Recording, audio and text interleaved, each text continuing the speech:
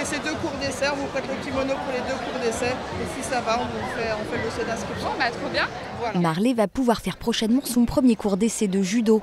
Et trouver une activité pour leur fils, c'était l'objectif de ses parents en venant ici au Forum des associations. On a des thèmes prédisposés, on a des idées d'activités pour le petit, euh, mais on ne connaît pas forcément les organismes en question, donc on vient découvrir ce qui peut être proposé pour le sport, la culture, euh, des choses comme ça. Ouais. Si certains sont venus pour découvrir et peut-être se laisser tenter, d'autres avaient une idée bien précise de ce qu'ils voulaient. Avec trois enfants à inscrire pour l'année, cette maman avait anticipé. Alors là, on a fait le roller déjà.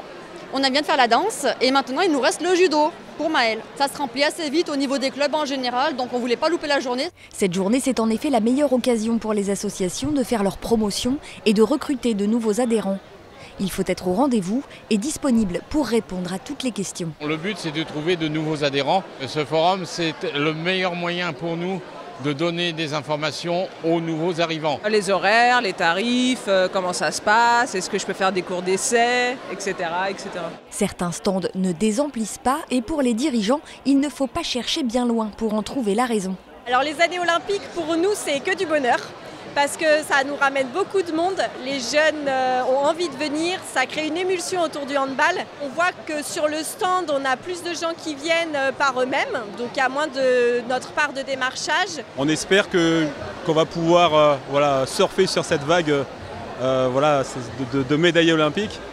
En général, c'est vrai que sur les dernières années, au niveau des inscriptions, on était à peu près à 180, au niveau, 180 adhérents au niveau du judo on espère qu'on va pouvoir passer le cap des 200 adhérents. Sport, théâtre, musique, associations caritatives, il y en avait pour tous les goûts, puisqu'un peu plus d'une centaine de stands étaient réunis à Chalon. De quoi permettre à chacun de trouver son activité pour l'année.